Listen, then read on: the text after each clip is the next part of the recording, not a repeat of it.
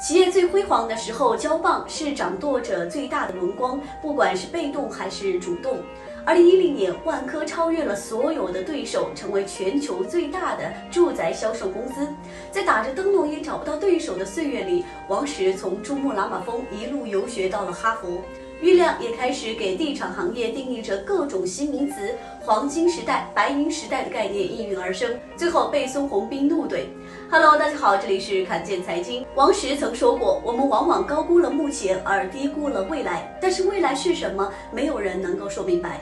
二零一四年，万科度过了老大生涯最后的辉煌。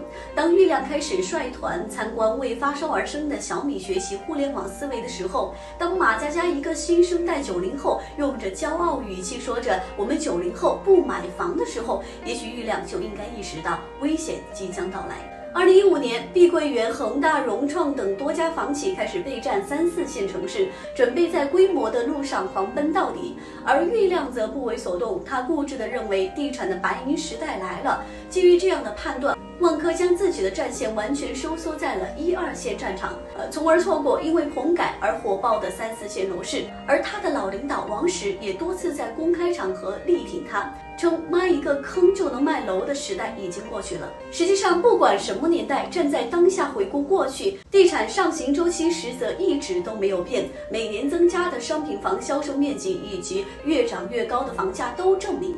地产还是原来的那个地产，倒霉的只是一些不断滚雪球的地产企业，他们的野蛮生长没有带来任何好处，只能让他们的债务规模越滚越大。所以给他们划定三条红线，让他们自己去认真反思。但这一切似乎和万科没有什么关系。二零一五年十二月，王石的一篇内部讲话拉开了万宝之争的序幕。这场股权之争给了碧桂园、融创更多、更充分的时间。随着宝能系买入的股份越来越多，万科越陷越深。放弃三四线楼市，万科别无选择。剑拔弩张的日子并没有很快结束，这场战争一直持续了两年多。当时万科的现状和当年的君万之争有很大的区别，且大股东华润并没有坚定地站在管理层这边，而是选择了旁观。在求告大股东无望的情况下，王石等管。管理层只能寄希望于别的国企。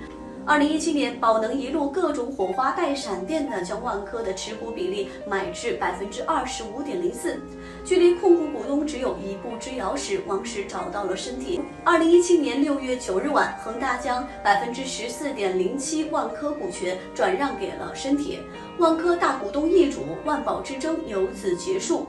代价是创始人王石出局。二零一八年，郁亮带领万科重新出发，三四线的楼市也进入了尾声。当时，郁亮才发现，碧桂园、恒大早已取代了万科，成为市场的老大老二。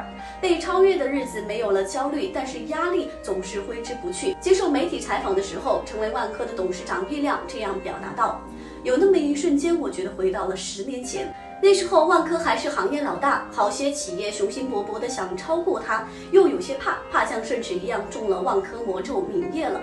后来陆续有企业真的超过了万科，先是恒大，后是碧桂园，而万科却早就对老大没有了兴趣。有没有兴趣我不知道，但是万科追赶的步伐却一刻也没有停止。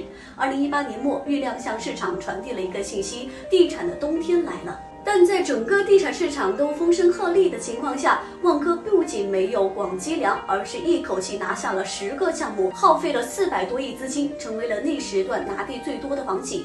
郁亮说：“我们整个团队是一定要争冠军的。在黄金时代，我们成为了冠军；在白银时代，我们同样也需要成为冠军。我们不一定每一年、每一次都要成为冠军，但最终要成为这个时代的总冠军。”但人算不如天算，地产的三道红线彻底击碎了万科想以规模取胜、争夺冠军的梦。于是，郁亮把超越的心思放在了地产的衍生品上，且不限于长租公寓与物业。他认为，沿着客户需求和城市发展这两条主线，才能挖掘大量的机会。但机会并不是唾手可得。事实证明，业内人士只能看到行业内的变化，岂不知有时候危险并不在内而在外。